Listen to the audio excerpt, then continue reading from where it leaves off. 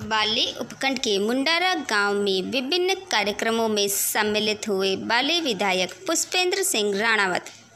इस दौरान मुंडारा माताजी मंदिर में पूर्व गोपालन मंत्री ओटाराम देवासी से मुलाकात कर, राजनीति और क्षेत्रीय समस्याओं को लेकर चर्चा की।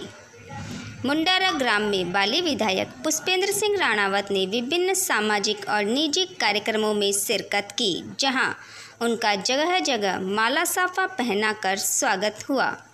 विधायक पुष्पेंद्र सिंह राणावत ने मुंडारा ग्राम के विकास से संबंधित जनप्रतिनिधियों से चर्चा की और माँ चामुंडा माता के दर्शन कर पूजा अर्चना भी की। जहाँ श्री चामुंडा माता मंदिर ट्रस्ट अध्यक्ष गजेंद्र सिंह कर्नोत द्वारा भी पुष्पेंद्र सिंह राणावत का साफा पहनाकर व माल्यार्पण कर स्वागत किया गया।